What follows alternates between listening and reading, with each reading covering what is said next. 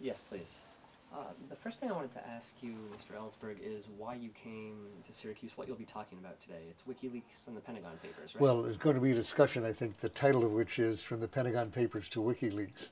Of course, the uh, WikiLeaks is the first, the recent disclosures are the biggest unauthorized disclosures or leaks since the Pentagon Papers. So the two are linked together all the time.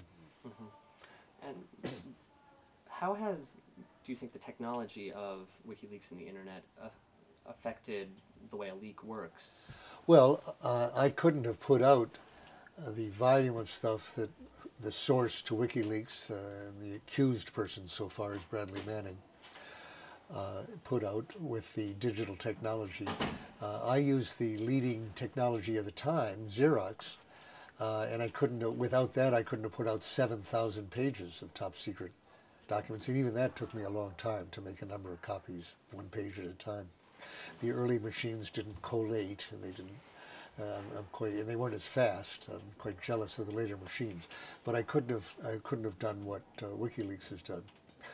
Uh, so the possibility of putting out really large amounts of information, of course, exists now in a way that it never did before, which I think is a good thing. It increases the magnitude of the impact, do you think? Well, the um, I think the impact depends on a fairly comprehensive release that shows a pattern. Uh, if you just put out one document, the government will say, "Oh, that person was not in the loop," or "We rescinded that the next day," or "That was just one person's opinion." Uh, the Pentagon Papers showed a 23-year period of very consistent patterns of deception and illegality and uh, hopeless escalation, really. And I think those patterns made, made a lot of difference. So for years, I've really urged people to, to consider putting out comprehensively, you know, large files of, of information that would really be compelling in, uh, in their message. And that really hasn't happened, although it could have. There have been studies like the Pentagon Papers uh, since then, and they should have been put out, I think but haven't been. We know that in part because some of them do get declassified many years later, but we needed it much earlier. So, uh, in, in whoever the source was, and let's say Bradley Manning, the accused person, I think really uh, did put out a volume of material here from which one can make very important conclusions that you couldn't have decided on from just uh, a very a small release. And about Mr. Manning, uh, the, what are your thoughts on the potential punishments that they're talking about for him, the death penalty? Uh, well, the, the death penalty is a new uh, addition here with this charge of aiding the enemy, which I think is an absurd charge. It doesn't have uh, intent in it, so I would think it's very questionable constitutionality. It's extremely broad. I would say if we're not looking at intent, then the people who are aiding the enemy if the enemy is Al Qaeda, I think reasonably. Uh, the people who are aiding Al Qaeda's recruitment are the people who occupied Iraq and are keeping us there and are keeping bases in Afghanistan and escalating there. I think uh, Al Qaeda's recruiting depends crucially on those policies. And that I'm talking now about the White House and the Defense Department and the State Department. Whereas someone who's trying to get us out of, of those places is challenging, uh, I think, uh, Al Qaeda's recruiting. But uh, I'm not saying, of course, that the White House intends that, but the law as written doesn't have an intent requirement. It just says aiding the enemy in some way. Of course, uh, I was accused in similar terms uh, for the Pentagon Papers. But the uh, I think he is quite likely to get a very heavy prison sentence, if, if, if for nothing more than for violating military regulations he probably they do have a strong case on him on that. Simply unloading or downloading material that he wasn't authorized to download. They can probably prove that uh, if they're charging it. And that alone would uh, could probably put him away for a long time. I think I've been predicting for some time they would go for a life sentence. Of course, in my case, again, I faced uh, 115 years possible sentence in prison, so I had the same charge. Mm and well, you're sitting here, so I guess. I wanted to ask you: Is do you feel like the leaking is getting a little bit overused with WikiLeaks? Everything seems to be a leak. Do you think it's getting out of control? No. Uh, the there is material in this vast amount of material. There's a good deal of information that didn't demand to be released, or you know, didn't is not of great significance to the public, probably. And some of it perhaps should not have been released. There may be material in there that I would not have released or that should not be released. But I think, in fact, there's a great, we're finding more and more material in it that uh, uh, serves a very important purpose either to the United States or to the world to be known.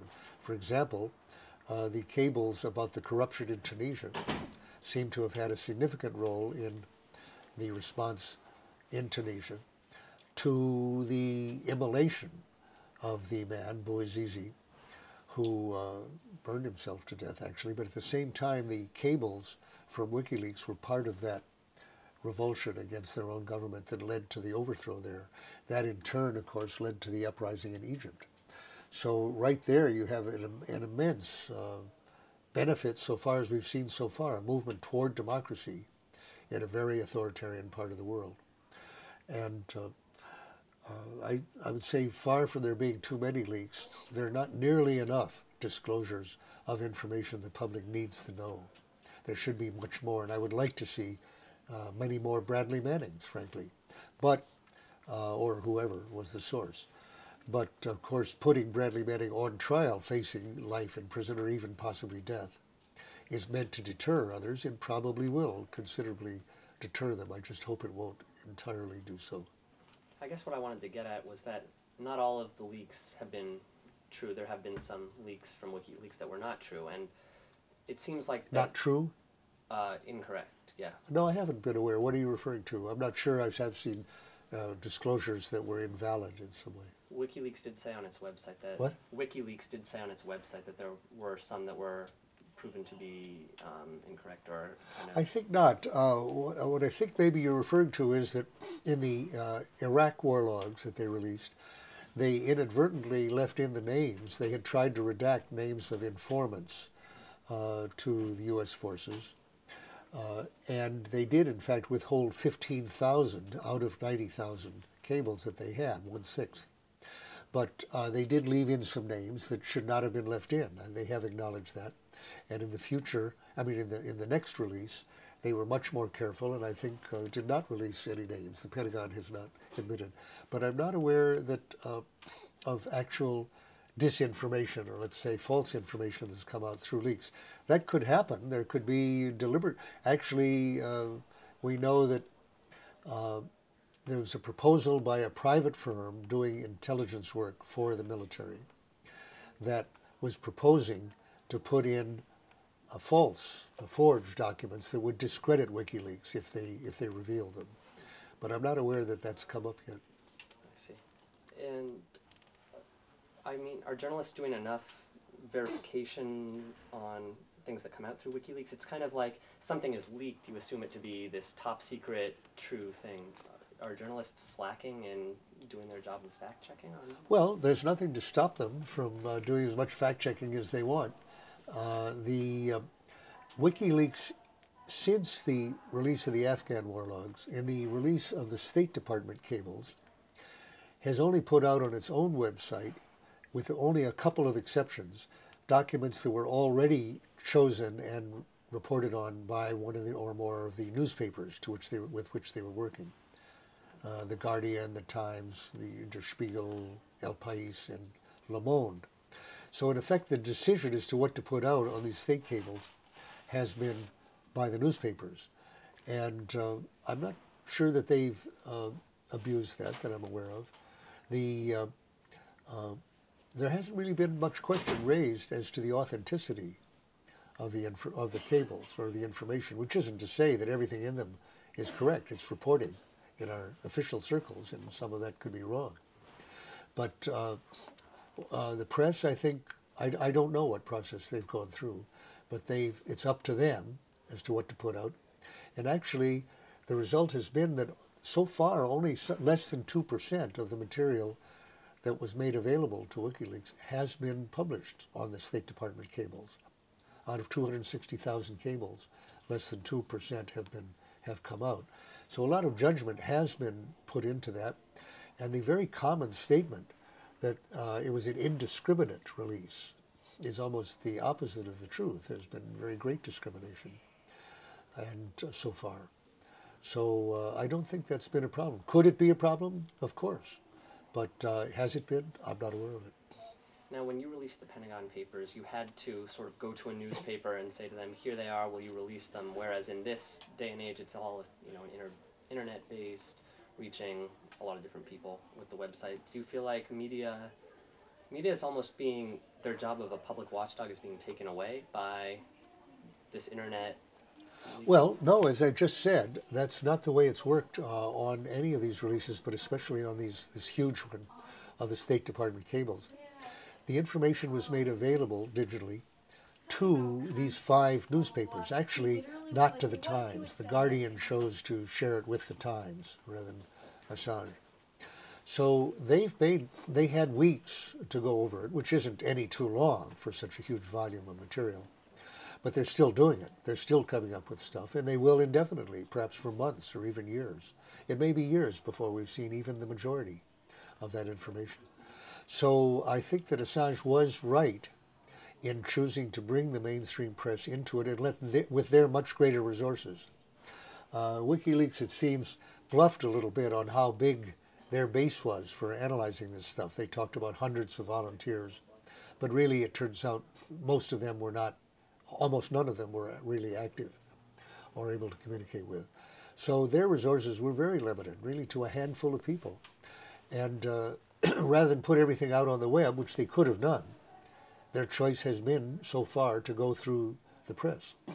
Now, in the case of the Afghan and the Iraq cables, as the press put out their stories, WikiLeaks did put out the entire uh, amount on the simultaneously on their website.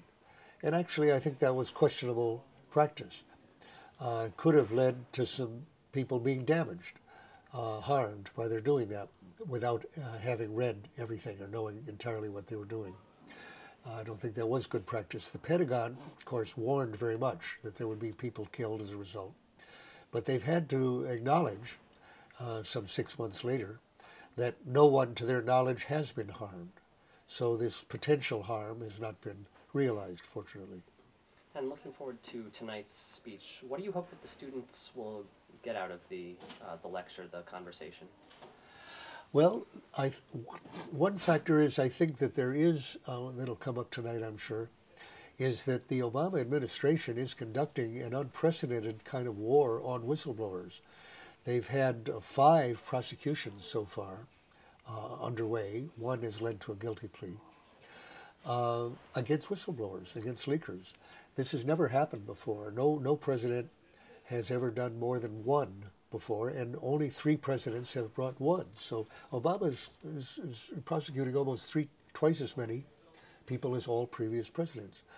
How bad is that? I think it's very bad. I think I, I hope that people will get the feeling, that understanding, that we've been for a long time. This is an assertion of mine, let's say, conducting a secret foreign policy to a very large extent. The idea that the public eventually knows pretty much everything of what we've done or what we are doing or what our policies are is mistaken, actually. We have a, a very important covert side to our uh, relationships in the world and our actions. And the only way we can have any democratic influence on that policy is if we know more about it. And that really means we rely on whistleblowers of the kind who are being prosecuted right at this moment by Obama. So I, I, hope that people will see, especially in a school that's so heavily into journalism and communications, that our free speech and our free press is under attack now, ever since 9-11, but is in particular, surprisingly, under President Obama. And that uh, the need for the defense of that is uh, very great. I was just in a building, I understand, that has the First Amendment inscribed on its walls. Well, uh, that will just be a historical memory unless I think we act now to defend it. And we are currently in that building. Um, Looking back at the Pentagon Papers, would you have done anything differently about the entire situation? About about like the about releasing the Pentagon Papers and the events that followed. Would you have done? I mean, in the past. Yes. In the past, yes. I, I wish very much that I had released the documents in my possession in the Pentagon in my safe when I was an official in 64, 65 rather than giving them to the Senate in 69 or the newspapers in 71, seven years later. I think if I'd put those same documents from 64, 65, which showed our secret foreign policy there, which at that time was to initiate a major war in Vietnam while telling the electorate that uh, President Johnson opposed widening the war and opposed such a large war, which was the opposite of the truth. Uh, he got a landslide victory on the basis of that. I think if I had put those documents out in 64 in the fall, he would still have won the election because the alternative was Senator Goldwater, who wanted an even larger war. But he could not have enlarged the war. Congress and the public were so against that. That's why they voted for him on false pretenses. And they were so against that that if I think if I'd revealed the planning that was going on for enlarging the war at that time, I could have saved 58,000 American lives and millions of Vietnamese. So that's a very heavy burden of responsibility. I didn't think of doing that at that time, and I, I wish I had. And I wish I'd acted on it. I'm sure there are many people who've thought in, in subsequent years of doing it, but they haven't acted on it. And Bradley Manning is somebody who not only thought it, but he actually put his life on the line on that and accepted a real risk, I think, of life in prison, which he foresaw as a possibility from the beginning.